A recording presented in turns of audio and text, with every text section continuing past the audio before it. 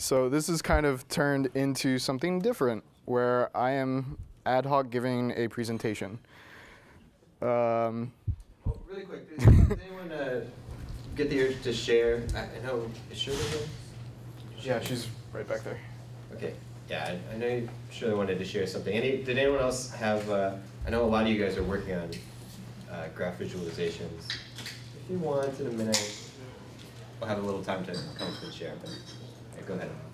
All right, so Graph Prism is another way of visualizing a network. Basically, when you start getting to that bound of usefulness uh, of visualizing a network in a force-directed graph or anything, anything that's like representing the graph as a whole, and you get to this hairball effect that a lot of uh, people end up getting to, because this data makes sense to me. It just kind of looks pretty to everyone else. Um, it's it the usefulness is completely shot. You can't really understand what's going on at a macro or even micro level. So a lot of the visualizations we've seen really promote uh, a micro level understanding of uh, of a graph. So you're exploring the data in very interesting ways. Elijah's uh, talk really covers it beautifully, and I really like his implementation. But Graph Prism is taking it more from a, a uh, macro level. That is uh, no longer visualizing a graph uh, in a uh, local state, or rather edges to nodes, uh, but as a global state. So taking some uh, values in network science and visualizing those to better understand and classify the behaviors of certain graphs. Uh, this is, again, my interpretation of a paper that I was reading uh, just a little bit ago. So, um, yeah, so to, deep, uh, to dive deep into this a little bit, uh, when you're visualizing uh, using this technique, you have a lot of values that represent uh, like th- things that describe a graph or describe the structure of a graph. Uh, some of the network science things are connectivity, so how connected a uh, an individual uh, edge is, the, or degree.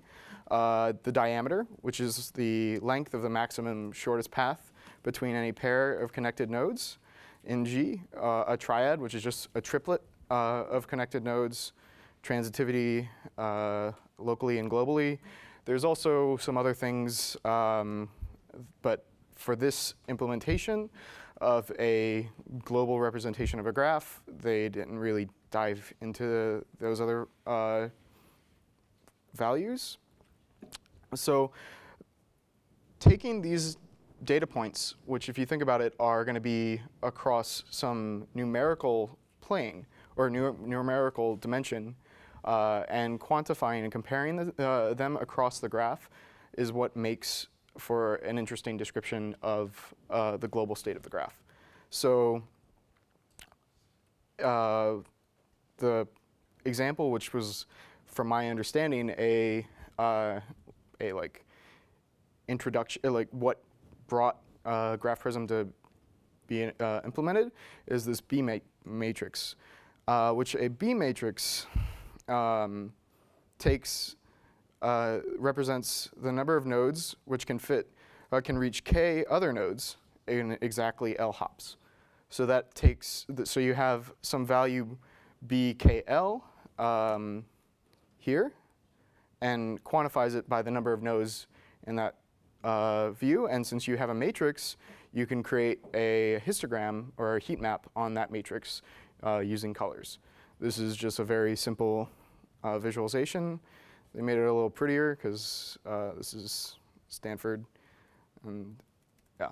Um, and they worked to leverage a lot of the uh, values that network science are using, visualizing them a, at a global state, and then building an interact, uh, interaction uh, and uh, compare, like a way to compare them. Uh, in this case, this is small multiples. So you can instantly see um, graph one, graph two, graph three, graph four, graph five, graph six. They all have different behaviors, but they all, uh, like uh, graph five and graph six, they uh, have a very unique, or like very similar transitivity uh, in uh, in that it looks similar, at least to my eyes. And I'll zoom in for those who can't see. But um, yeah, so my my interpretation of this is that this is a great first uh, step into visualizing our uh, visualizing graphs at a global state rather than a local state. And I really like to see others' opinions uh, and how it's valuable. Um, and does anyone have any thoughts? This is meant to be a discussion, so. Um, um, I, I'm a bit confused on what you mean uh, by global state and local state, particularly as it pertains to uh, these large-scale, I guess, networks. Can you describe some of the details? um, If I, you, I think maybe maybe it's a, and it looks like maybe what's going on here is you're seeing the distribution of values for all the nodes for Yes. various nodes. well, it's actually the distribution of nodes on the set of values. Ah, yeah, yeah, yeah. So this is like this is like a histogram of. Yeah, it's a two-dimensional histogram or a Is heat map. you can zoom in on the histogram? Yeah. This looks like it's online somewhere. I see that GUI up there. Huh? This looks like it's a web. I page have not been able to find it. If you can find it, that would be awesome.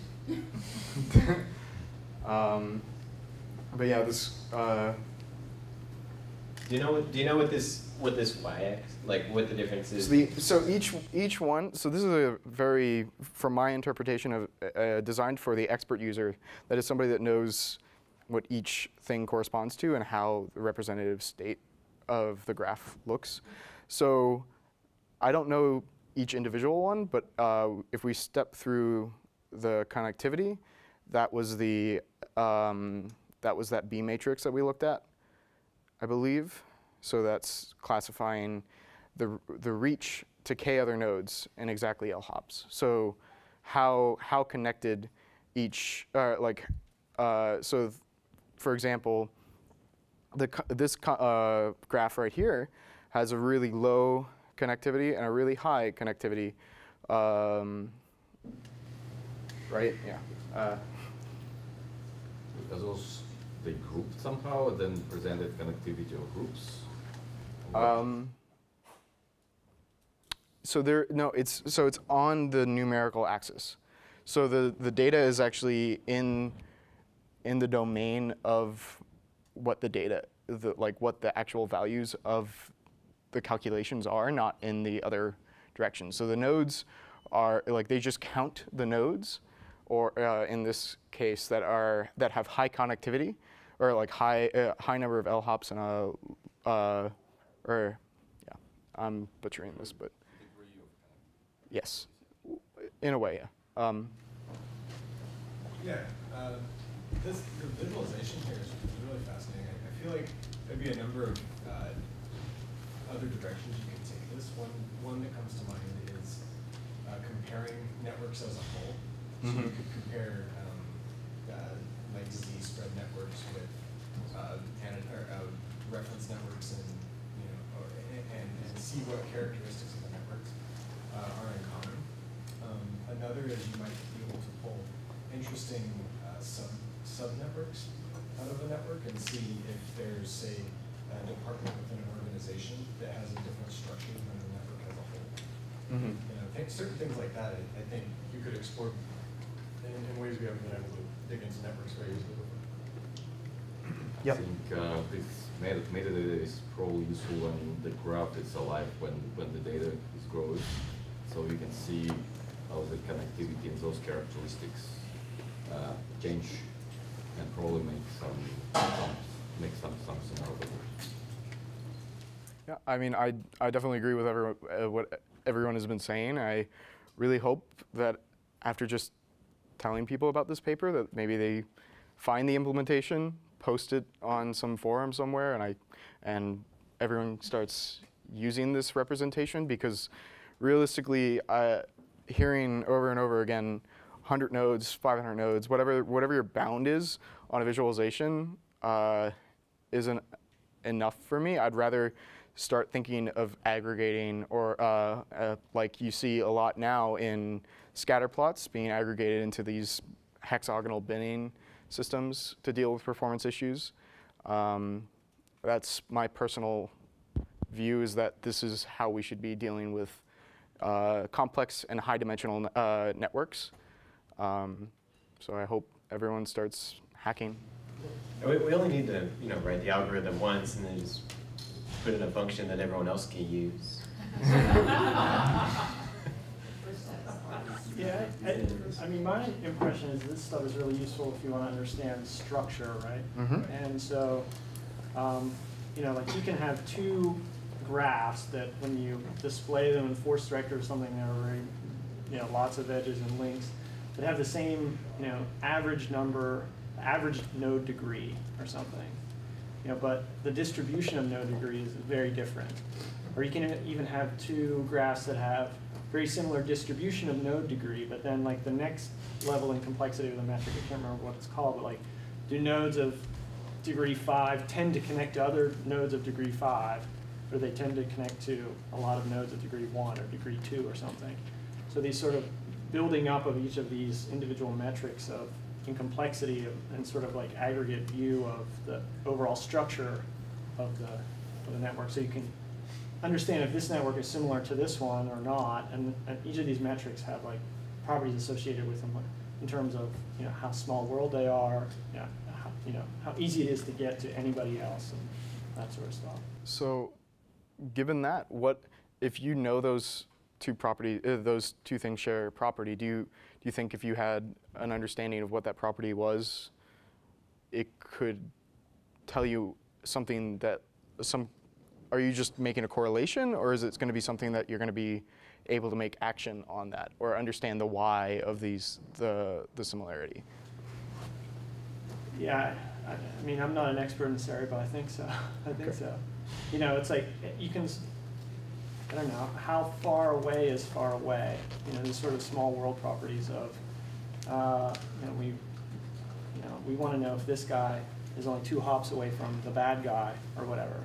But it turns out everybody's two hops away from the bad guy, or three hops or, or whatever. So, um, yeah.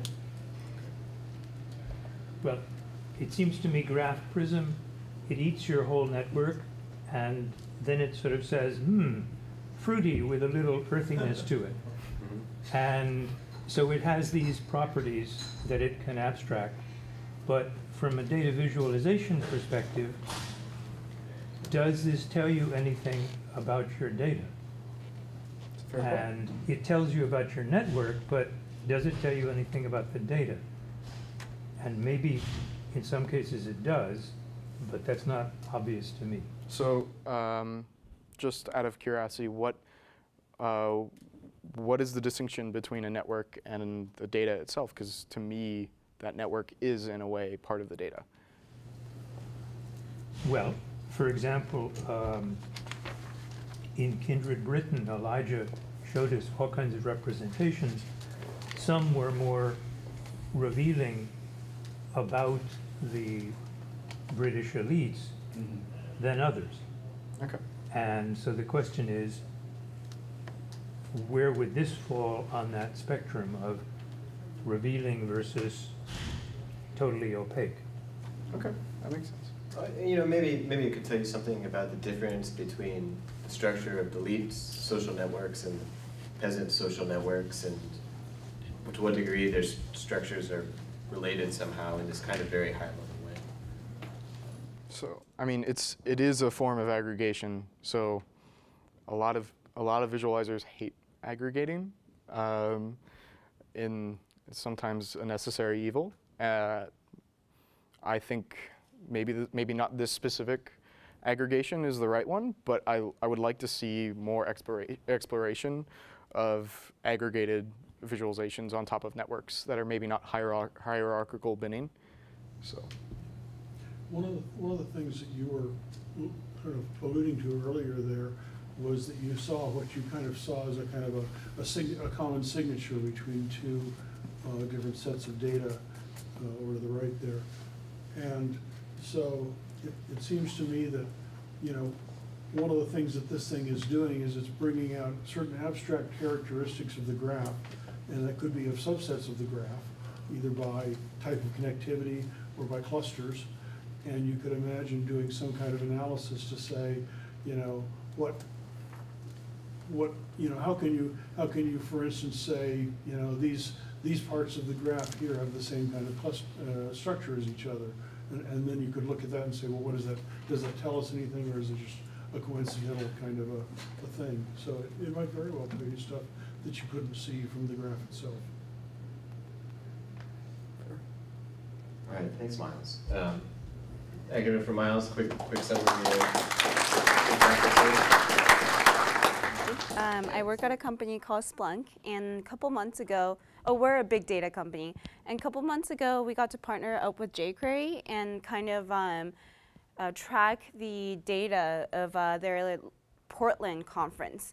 Um, and so we went in and say tracked uh, click events on say programs or talks or speakers and hover events and all of those client-side events, ported it over to our software Splunk, um, and then uh, indexed and analyzed the data, and then we went and made a visualization. Um, and I got really excited about this because this was our quote-unquote side project. Um, and uh, so this is the result of what happened. Um, and to start off, um, we uh, there were some questions that we wanted to answer for the uh, jQuery conference. Um, some of the things are like, what are the talks that visitors are interested in? Um, where are the uh, tickets being purchased from? And how do the visitors spend time on the page? Um, and so you can see this is kind of the, the data that we aggregated. Uh, Oh, so uh, so for example, on the I'm really bad at left and right. Sorry, on the left side is uh, the number of clicks, um, click event on a talk description, and on the right hand side is the number of clicks on a speaker description. Um, so you can see, um, and there there so depending on jQuery was um, given the talk was given by Alex Sexton.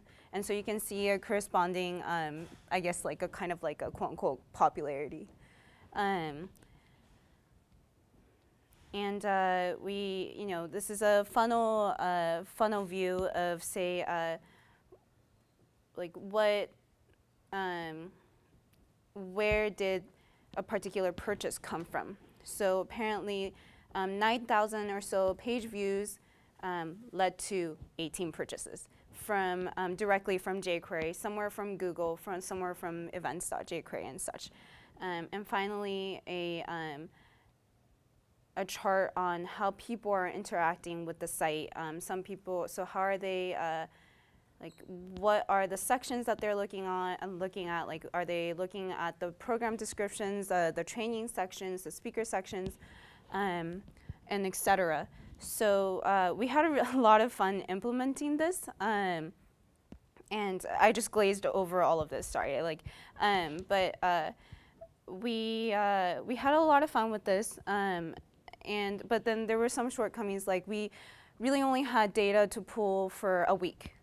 So a lot of this, um, like all of this is based on one week's worth of data, which is, as you might know, not like not a very representative pool uh, to be visualizing this. But the important thing that we learned from it is um, that it is one possible.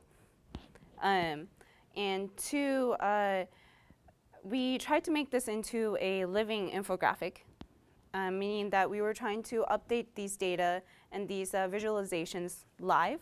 Um, since then, because the jQuery conference has been over, we've made it static. Um, but um, the the uh, the library to um, track the information and then port it over to Splunk has been made public on our Splunk GitHub so that anybody can uh, plop the library into their own website and then write up some scripts about uh, some events that they want to track and then they can port it over to Splunk and then um, make these visualizations themselves very, with, with um, existing libraries like jQuery and Backbone and D3. Um, oh, the, the library? Uh, it's uh, sb.js. Um, I think it might be currently called something like a demo library for uh, for something collector, but it's it's on uh, if you search for a Splunk GitHub, it's it's on there, um, and uh, it's uh, I wanted to show this just to have a conversation maybe afterwards about um, things that could take advantage of this, um, in the sense that uh, I've been I I mean it's it's a it, it like uh, things that could use this to uh, create kind of a real-time infographic, um, and maybe like some some sort of a collaboration or, yeah. Um, I just actually had a question on the, the last visualization you showed. Mhm. Uh, that was a clickstream visualization, right? I don't know. I just kind of came up with it. Uh, so, uh, is this all the possible sets of click streams, or is it the top K and?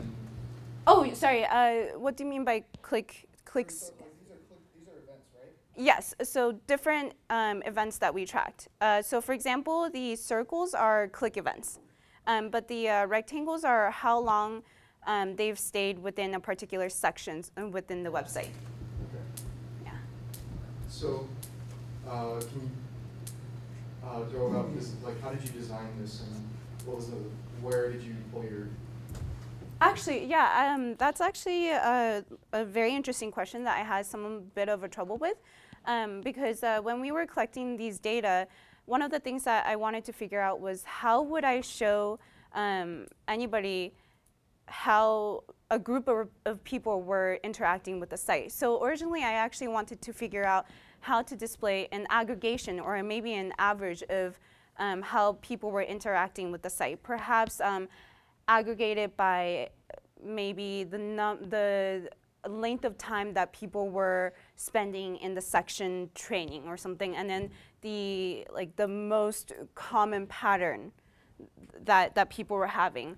Um, I couldn't figure out how to aggregate it well, and so this is what happened. The the two things I wanted to know, which was um, how were people spending their time and what kind of links were they interested in?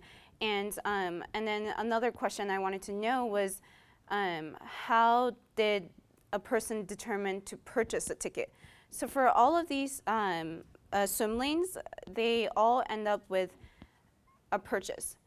Um, and so you can see this person clicked on the last couple things that they did was click the link buy tickets obviously and then it, uh, it directed them to Eventbrite and had a success. Um, and then before then, apparently they were clicking around on, they were looking into the program and then they were looking at the tickets section for a couple seconds and they were looking at the program again. So apparently they went in between tickets and programs a lot and sometimes training. And then the hope in building this was that the next time jQuery had a um, conference, they could kind of see what kind of, what is the user, um, the common user interaction, and then that way maybe they can lay out their web page in a way that's more intuitive for the user. Or perhaps um, which buy buttons were the more noticeable or the ones that were clicked on most. Or, um, and so those were some of the business insights that we were trying to gather. So does it also, a lot of people also use, uh, you know, Google Analytics and stuff, so does it work with that too?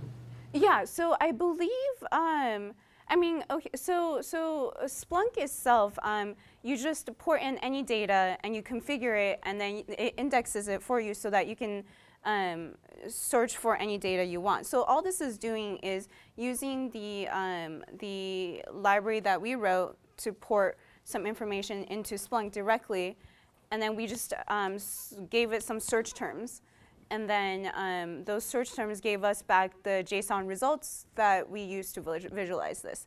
So um, if you have Google Analytics, you can, as long as it has like some sort of a JSON output, XML output, you can port it over to Splunk and then visualize it. Um, another reason we decided to do this visualization is because we wanted to show people that um, to make any sort of visualization within Splunk, you can just um, use currently existing JavaScript libraries. It's very easy to do. Are you going like directly, like So are you using the data directly out of Splunk to, to power the visualizations, or is there Mhm. some intermediate step or No, it's just directly from Splunk, yeah. So I'm still not clear, like, why would somebody use, let's say you said that there's a JSON, like a blob from Google Analytics or somewhere, Mhm. and why would somebody go through Splunk, why wouldn't they just use some D3 like library and just plot it out? You can. Um, we just uh, provide a really good. Um, we we just uh, index the data in a way that if you say have, for example, I think this had ten thousand or a couple, you know, ten thousands of events, and so if you have when you have a data set that's that large. Um, and you don't want to say write anything of your own to go through that data, Splunk is a very good alternative. I guess you could uh, kind of imagine this data, I mean, these users are kind of like, it's kind of like if the users are nodes in the graph and these, these pages are also nodes and the users have relationship to these, to these uh, sections of pages which are also nodes. These are all edges. So there's some, the edge is like some length of time you spent here. And if you did a force-directed algorithm, you would get all the pages that people spent time together, like kind of uh, all collected. Actually, it would be really cool. Because there's always this equivalency between nodes and edges. You can always kind of flip them around and visualize all the edges as nodes, which is kind of what's happening here if you think about it one way. Yeah, I'm gonna think about that.